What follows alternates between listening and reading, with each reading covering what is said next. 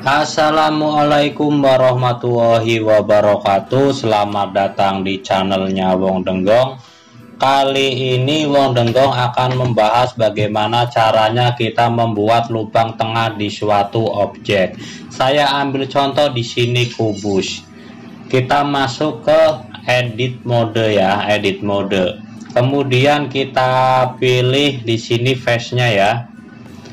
Face ya. Kemudian kita klik kita putar kemudian kita pencet shift kemudian kita klik face bawah. Oke akan terjadi dua seleksi yang ada di sini. Kemudian kita tekan I dan kita geser sesuai selera kita mau seperti apa lubangnya ya. Saya ambil contoh seperti ini. Kemudian kita klik kanan langsung kemudian di sini pilih breed face oke maka akan dengan otomatis langsung di tengahnya ada lubangnya.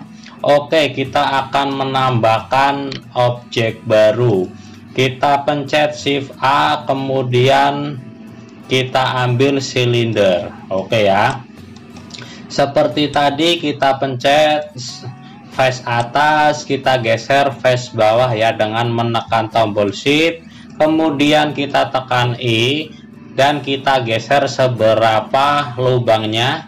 Kemudian kita tekan klik kanan break face oke mudah sekali kawan-kawan ya. Cara membuat lubang di tengah suatu objek pada aplikasi blender ini. Sangat gampang sekali Oke itulah tutorialnya kawan-kawan bagaimana caranya membuat lubang tengah di suatu objek blender silahkan bagikan trik ini kepada kawan-kawan yang lain agar bisa lebih bermanfaat jangan lupa subscribe dan tekan tombol loncengnya agar selalu dapat informasi terbaru dari channelnya Wong Denggong Tunggu tutorial berikutnya. Terima kasih. Assalamualaikum warahmatullahi wabarakatuh.